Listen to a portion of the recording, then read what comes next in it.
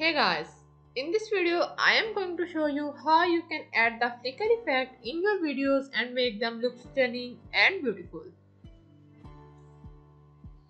So in today's video I am going to show you how you can add the flicker effect using Wondershare Filmora. So first of all add your video in which you want to add the flicker effect.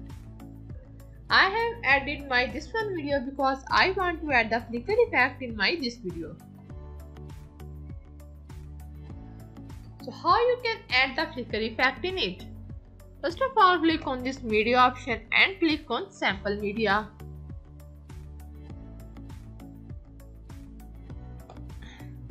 And sample colors.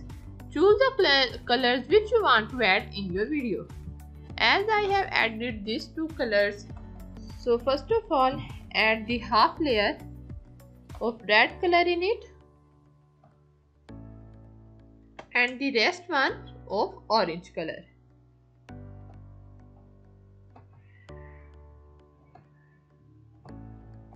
Please make sure this open auto ripple effect is open while you are doing these changes. Then click on double click on it and go to the opacity and click to enter the 60%. Change its opacity to to the 60%. Then stretch this timeline to the full.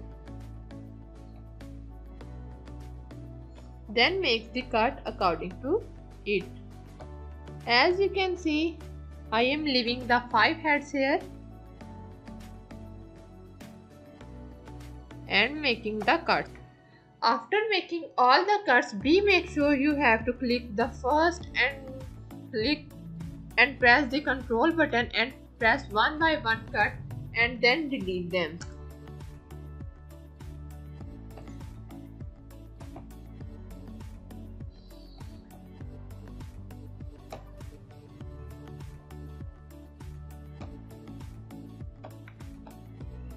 so here is the final result you can check here